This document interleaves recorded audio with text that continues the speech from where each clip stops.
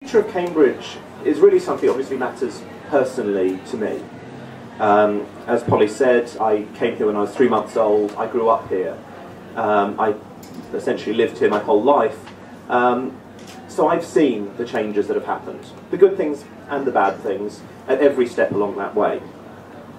I've also had a bit more involvement in trying to direct it um, since we in the Liberal Democrats took control of the City Council in 2000. So we've had 10 years so far of trying to develop Cambridge. Uh, we've improved the recycling rate from uh, single digit percentages to uh, almost 50%. We've improved the energy efficiency of homes by about 40%. Uh, we've made a real difference here. I could, I could go on about that list. And Cambridge is, of course, a very special city. It's a city of learning. We have two great universities here. It's a high-tech city. It really is a unique city. And that means that we can do things here which will be harder elsewhere. Let's take, for example, the idea of green jobs. There's a view held in many places you can either look after the environment or you can look after the economy. And I think it's just simply not the case you can have one or the other. And here in Cambridge, we are very well placed to do both. We're very, very well placed with the spin outs that are happening to have a real economy driven by environmentally sustainable uh, manufacture, ideas, design, the whole range of things. This is something which we can do and lead on nationally and internationally. That's very special. We're also very fortunate in Cambridge to have people who are committed, who care about this wonderful city. Some of them are here. I can see all of you deciding to give up an evening in order to come here and talk about it. That's something rare. I stood for Parliament at the last election. We didn't have anything like that there. And we see this through uh, the Transition Town initiatives, um, through a whole range of, of things that are happening.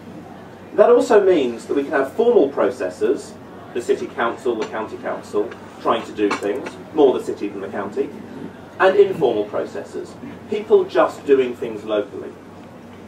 A real partnership. Now there are other things in Cambridge which, cause us problems. I spent a while uh, trying to find somewhere to, to live here, and there's a clear housing shortage in Cambridge.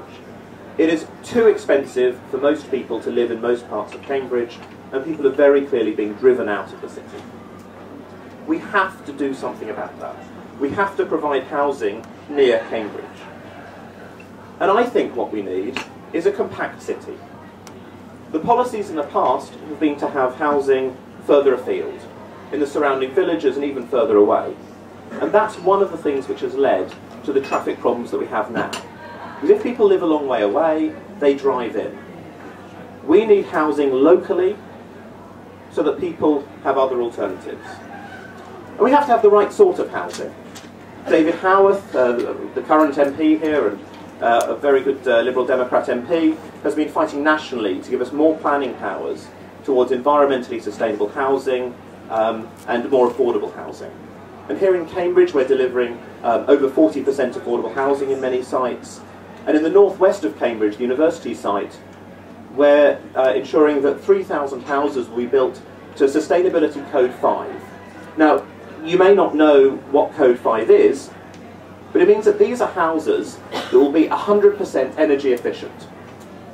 3,000 homes demonstrating that that can be done in Cambridge. We also have to look at transport. We need cleaner, greener techniques. I spent a lot of my political life campaigning for improved public transport, cycling and walking. We have to provide that. We also have to make cars and other forms of transport better for the environment uh, and relieve the congestion as well. And we need to think about well-being. We need to think about happiness. So my vision for Cambridge in 2020 is that we should have a city where people want to be here, to live, work and study here. We want a city that's in harmony with its environment, not depleting resources unnecessarily. We want a city right at the forefront of new technologies, green jobs, research, right at that forefront, nationally and internationally. Thank you.